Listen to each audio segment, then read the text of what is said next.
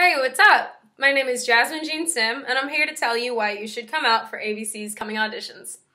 So, fun fact about me I am an actress living in Seattle, but I'm originally from the Antelope Valley.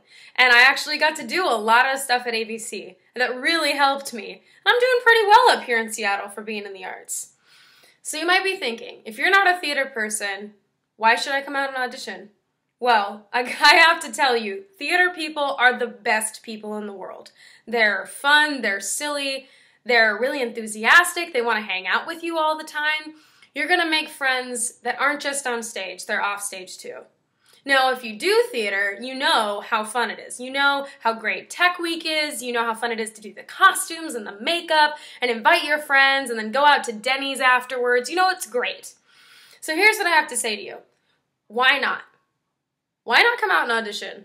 Why not get your group of friends, come out and audition?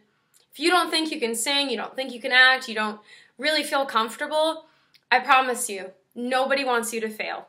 Everyone wants you to succeed and probably get cast in something. So give it a shot. Come out to AVC, come audition, and see you later.